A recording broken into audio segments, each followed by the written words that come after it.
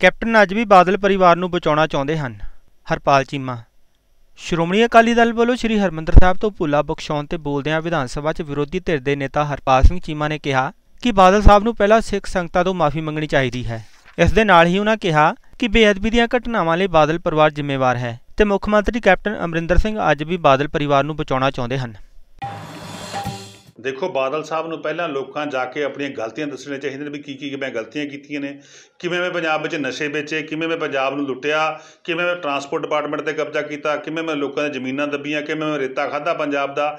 ਇਹ ਸਾਰੀਆਂ ਗੱਲਾਂ ਜਿਹੜੀਆਂ ਹੈਗੀਆਂ ਤਮਾਮ ਜਿੰਨੇ ਵੀ ਉਹਨਾਂ ਨੇ ਪੰਜਾਬ ਨੂੰ ਲੁੱਟਣ ਲਈ ਕਾਰਵਾਈਆਂ ਕੀਤੀਆਂ, ਸਾਰੀਆਂ ਜਨਤਕ ਕਰਨ, ਉਸ ਤੋਂ ਬਾਅਦ ਲੋਕਾਂ 'ਚ ਮਾਫੀ ਮੰਗਣ, ਫਿਰ ਜਾ ਕੇ ਕਿਤੇ ਭੁੱਲ ਬਖਸ਼ਾਉਣ ਦੀ ਗੱਲ ਕਰਨ। ਇਹ ਇੱਕ ਨਹੀਂ ਤਾਂ ਇੱਕ ਬਹੁਤ ਵੱਡਾ ਸਿਆਸੀ ਡਰਾਮਾ ਹੈਗਾ।